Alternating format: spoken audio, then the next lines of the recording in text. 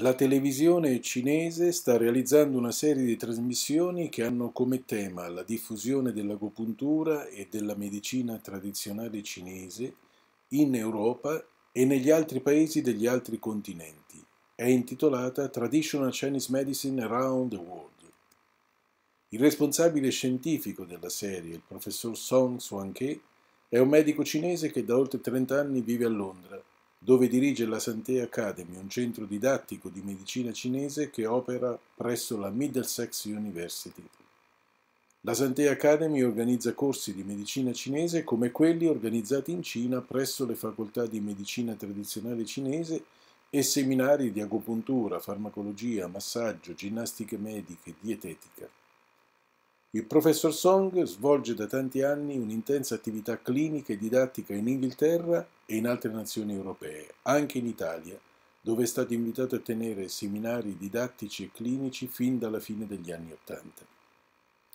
L'obiettivo delle trasmissioni è duplice, descrivere e valutare la diffusione della medicina cinese nei paesi europei e fare il punto sull'integrazione tra biomedicina e medicina cinese in Occidente. La troupe della televisione cinese incaricata di registrare le trasmissioni ha visitato l'Italia nello scorso mese di febbraio e ha fatto tappa a Civitanova Marche nel mio ambulatorio per intervistarmi sulla mia lunga esperienza di medicina cinese. E poi a Bologna per filmare una lezione di farmacologia cinese che ho tenuto dopo la prolusione del professor Song Suan-Ke agli allievi della scuola italo-cinese di agopuntura dell'AMAB di Bologna. Successivamente è stato intervistato il dottor Carlo Maria Giovanardi, direttore della scuola di Bologna e presidente della Federazione Italiana delle Società di Agopuntura, per fare il punto sulla situazione istituzionale dell'agopuntura e della medicina cinese in Italia. La troupe è arrivata a Civitanova e ci siamo incontrati per definire nel dettaglio il programma dei giorni successivi.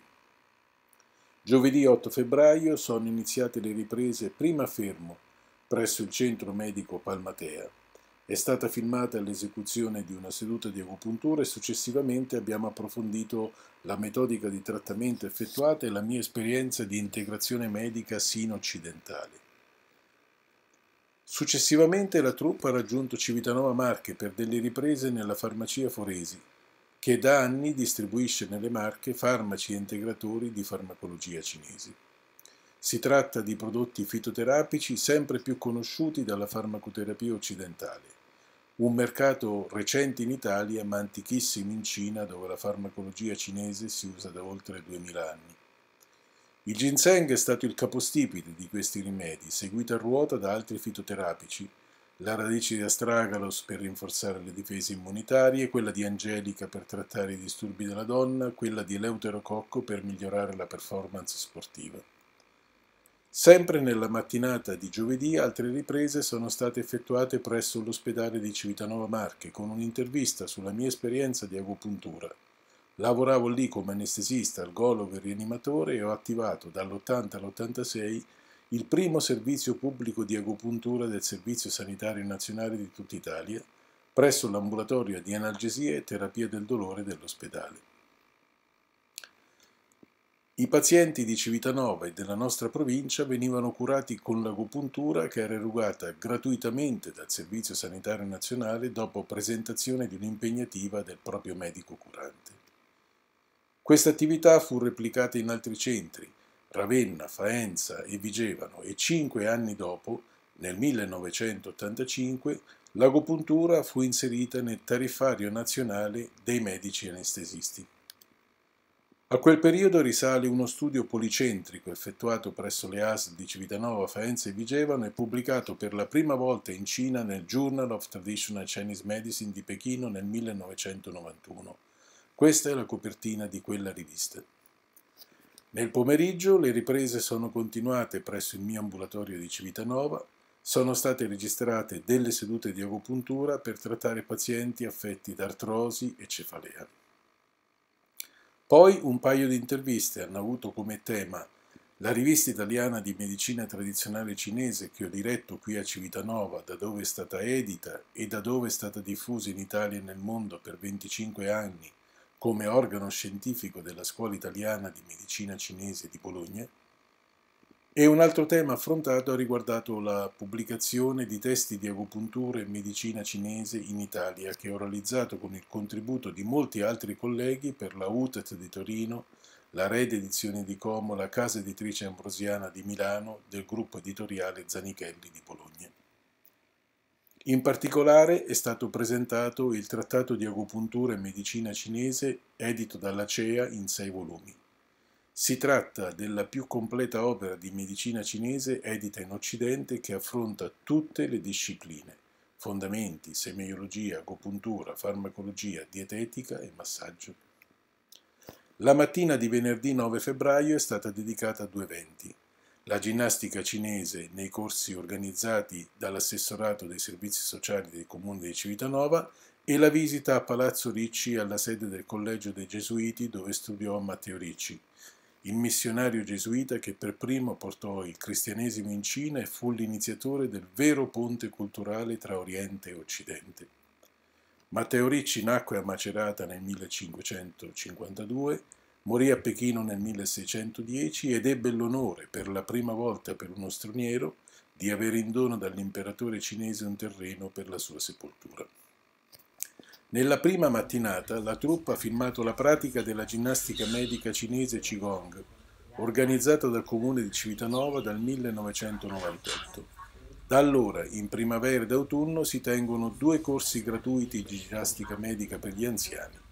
Lo scorso anno hanno partecipato a questi corsi 145 persone. La pratica del Qigong si sta trasferendo dalla Cina nel nostro paese e permette di prevenire e curare molte malattie della terza età e di mantenere la salute. Nel corso dei 20 anni di esperienza dei corsi di Civitanova sono stati effettuati numerosi studi sugli effetti del Qigong e si è visto che la pratica del Qigong migliora tutti i parametri esaminati in questi studi.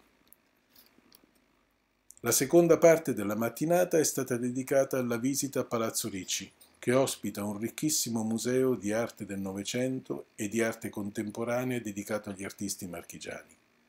Successivamente è stata registrata un'intervista proprio davanti all'ex collegio dei Gesuiti di Macerata, dove nel 1500 studiò Matteo Ricci e da dove partì per la sua avventura in Cina.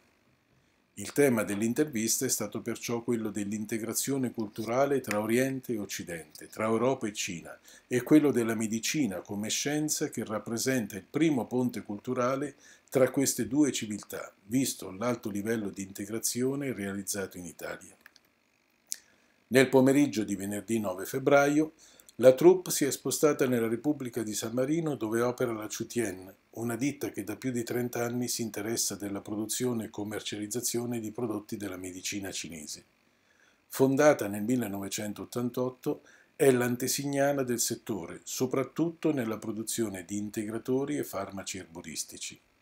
Il professor Son Suanche ha intervistato i responsabili della ditta e si è a lungo intrattenuto con loro per conoscere le differenze normative tra Italia e Cina nel settore degli integratori medici a base di rimedi erboristici. Nel corso degli ultimi anni molti ostacoli sono stati superati, ma occorre ancora snellire molte procedure. La ditta ha ricevuto il plauso della troupe che non si aspettava di trovare in Italia, in un paese così distante dalla Cina, un livello così raffinato di metodiche di produzione e confezionamento dei fitoterapici cinesi. A Bologna è stata filmata una prolusione del professor Song e una lezione del sottoscritto su argomenti di dietetica e farmacologia cinese che si è tenuta presso la scuola italo-cinese di Bologna. Successivamente la troupe ha registrato delle immagini negli ambienti della scuola e del centro clinico ed un'intervista al dottor Carlo Maria Giovanardi, direttore della scuola e presidente della FISA, la Federazione Italiana delle Società di Agopuntura. E questa intervista ha riguardato la medicina cinese e l'agopuntura in ambito didattico, clinico, della ricerca scientifica, in ambito normativo e istituzionale. La scuola italo-cinese di Bologna dell'AMAB è riconosciuta dalla regione Emilia-Romagna e tiene corsi triennali di agopuntura superati i quali viene rilasciato un diploma che permette di iscriversi ai registri dei medici agopuntori istituiti presso gli ordini provinciali dei medici. Le ultime riprese della truppa a Bologna sono state dedicate all'antico teatro anatomico dell'università, conservato presso l'Archiginnasio, per sottolineare le differenze tra medicina occidentale, che si è sviluppata a partire dallo studio della materia e dei tessuti dell'organismo, e quella cinese, più interessata allo studio funzionale ed energetico. Questa differenza non solo non è motivo di opposizione, ma anzi di integrazione, perché lo sguardo olistico della medicina cinese è completato da quello particolaristico della medicina occidentale. Video di medicina dall'Italia alla Cina a cura del dottor Lucio Sotte Visita il sito internet www.luciosotte.it per informazioni su agopuntura, medicina cinese e medicina integrata.